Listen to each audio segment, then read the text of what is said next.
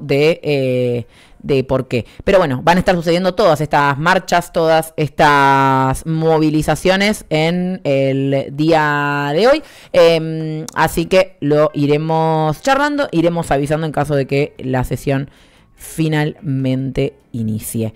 Dicho todo esto, lo mencionábamos recién, hoy 27 de junio es el día del estatal, estatales que están sufriendo y atravesando una situación muy, muy complicada en este contexto. Estamos en comunicación telefónica con Oscar El Colo de Isasi, secretario gremial de ATE Nacional y secretario general también de la CTA eh, Autónoma de Buenos Aires. Eh, buenos días, Colo, ¿cómo estás? Gracias por, por este tiempo.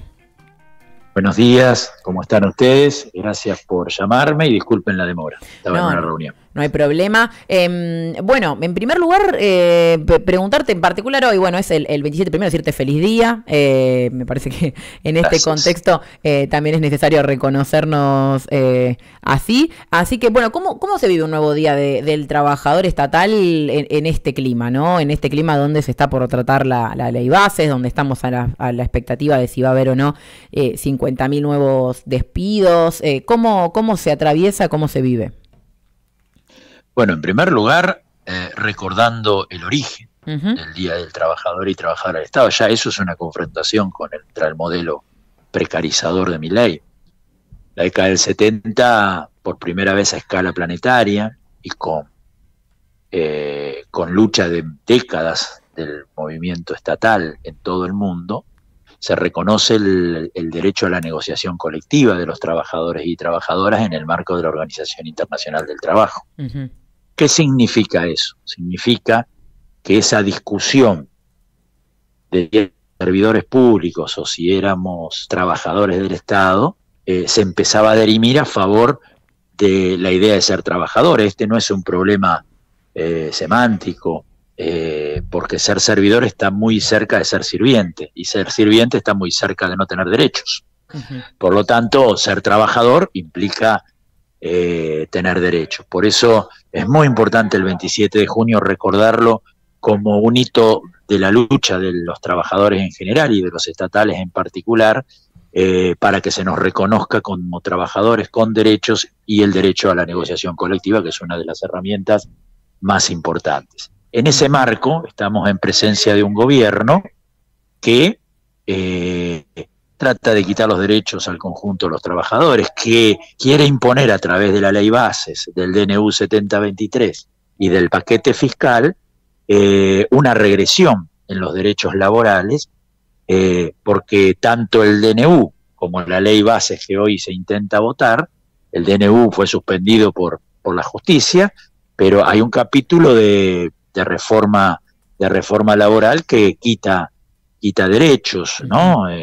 El aumento del el periodo de prueba, el fondo del cese laboral, eh, la quita de la posibilidad de reinstalar a una persona que fue eh, echada de manera discriminatoria, eh, la habilitación para despedir masivamente a trabajadores y trabajadoras del Estado, son todos elementos que están en el DNU, que, por, que logramos fruto de la lucha quedara suspendido ese capítulo, pero que ahora figuran en la ley base. Y esto sin contar que se elimina eh, muchos aspectos del derecho del derecho a huelga, que son, después vamos a cuestionarlos constitucionalmente, pero que, eh, que en marco de la ley intentan, intentan avanzar en ese sentido. ¿Por qué?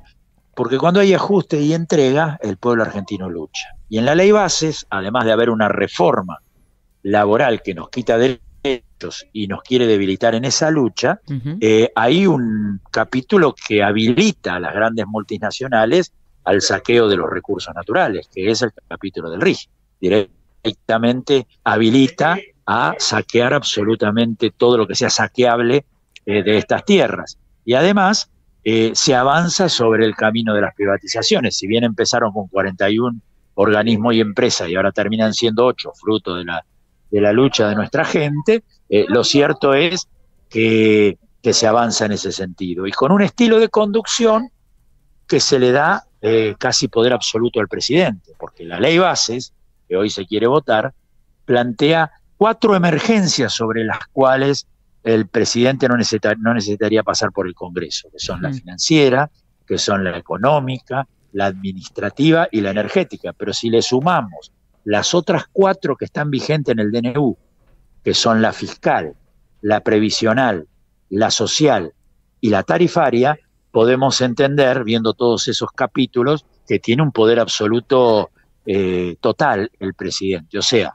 la ley base con el DNU permite poder absoluto para el presidente, habilita a las multinacionales al saqueo de los recursos naturales, posibilita una reforma laboral a fondo y avanza sobre las áreas estratégicas eh, del Estado. Hmm. Eh, este es el panorama que tenemos hoy y que van seguramente, o esto hace pensar que van a votar en la Cámara en la Cámara de Diputados. Eh, en este sentido, ¿cómo se responde hoy a, este, este nuevo tratamiento? ¿no? ¿Van a estar participando? estamos yendo nosotros ahora al Congreso para hacer un acto en el Congreso, en el Congreso Nacional, ratificando esto que te estamos diciendo.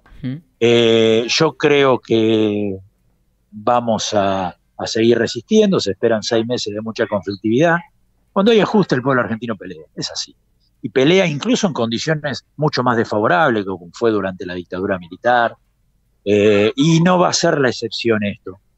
Eh, por lo tanto, vamos a ratificar nuestra voluntad de unidad de los sectores populares, de lucha para enfrentar lo que es el intento de Javier Milei de convertir en colonia a nuestra a nuestra Argentina. Lo que hoy hacen o intentan hacer a través de la ley base y el DNU y el paquete fiscal es lo que se intenta hacer, lo que se intentó hacer ayer en Bolivia por medio de un golpe de Estado, porque está en disputa los recursos naturales de toda, de toda la región. De alguna manera, Laura Richardson, la generala del Comando Sur, eh, lo planteó con mucha claridad, su preocupación por el petróleo en, en Guyana y en Venezuela, por el agua en la Amazonia, donde se encuentra el 31% de la reserva de agua del mundo, el 60% de concentración de litio, elemento central para la transición energética, se encuentra entre Bolivia, Chile y Argentina. Hay una disputa geopolítica.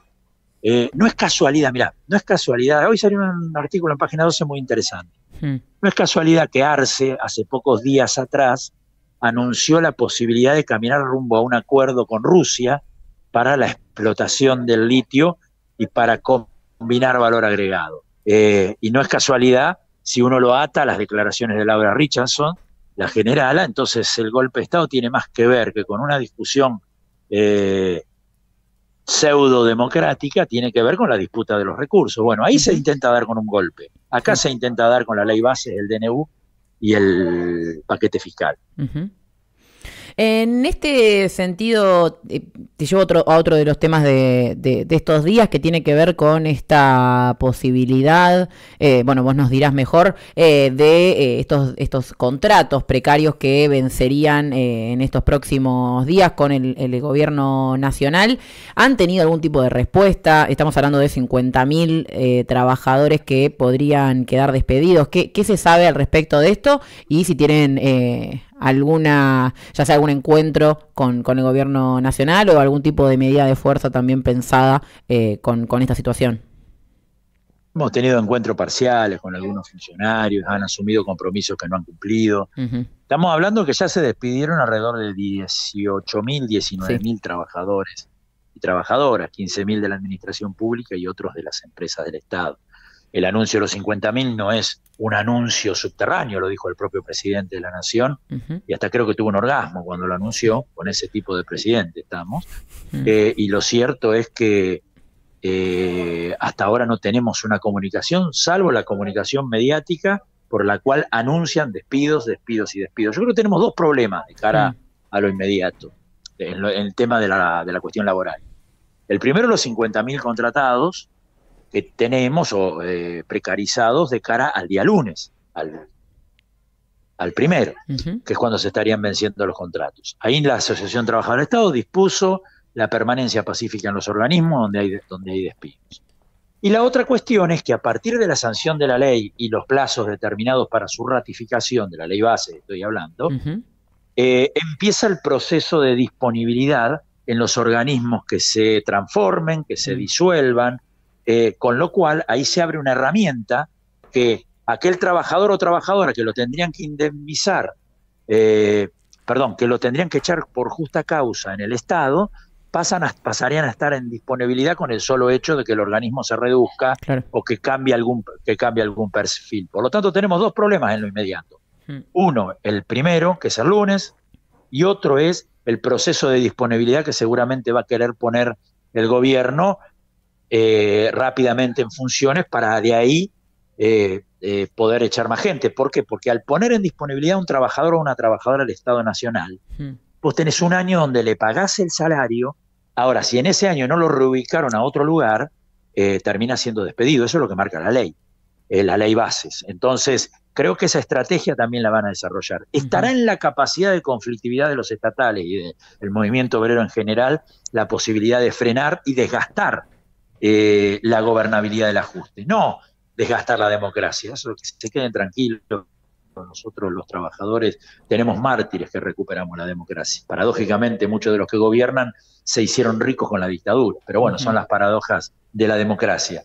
No es quitarle la gobernabilidad a la democracia, sino es tratar de poner en crisis la gobernabilidad del camino. Entrega y el, saqueo.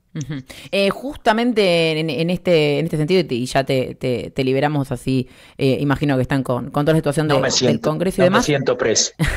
Eh, no, pero para no robarte más tiempo, lo último, bueno, justamente en esta línea, ¿no? En todo lo que se juega en estos próximos días, como vos bien lo retratabas, y en los próximos tiempos que quedan, ¿hay al pensar algún tipo de medida de fuerza, de, digo, más allá de, quedarse pacíficamente en, en, los lugares de trabajo, si es que, se llegan a no actualizar estos contratos, ¿hay algún tipo de eh, de, discusión. Sí, jornada nacional de lucha el lunes, jornada nacional de lucha el lunes y estamos hacia la construcción de un nuevo paro nacional. Tenemos que terminar de resolverlo en los ámbitos orgánicos, pero esa es nuestra idea. Bien. Bueno, Colo, te agradecemos por, por el tiempo y obviamente nos estaremos encontrando probablemente en las calles en el día de hoy. Así es, un placer, llamen cuando quieran. Beso grande. Un saludo. Oscar Colo de Isasi, eh, secretario gremial de eh, ATE, Nacional. y secretario general de la CTA Autónoma de la provincia de Buenos Aires. En revista Trinchera no